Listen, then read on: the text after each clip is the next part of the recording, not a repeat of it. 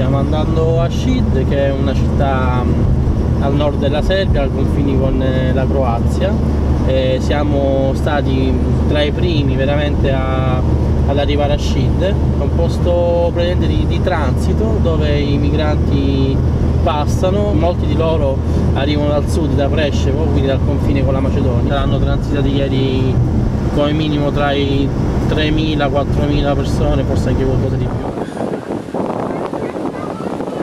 Siamo al confine tra Serbia e Croazia dal lato serbo e stiamo facendo delle distribuzioni di beni di prima necessità, principalmente impermeabili, visto il tempo e viste le temperature e poi una, abbiamo una stazione mobile per la ricarica dei cellulari e una stazione wifi.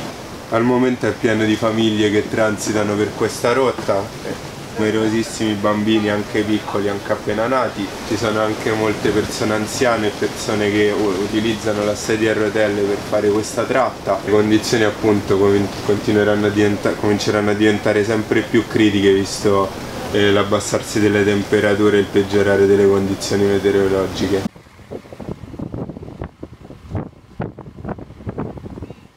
Siamo al confine con la Croazia tra Bersakova e Bakska e da mezzanotte sono arrivate 480 persone di autobus con il continuo flusso di rifugiati.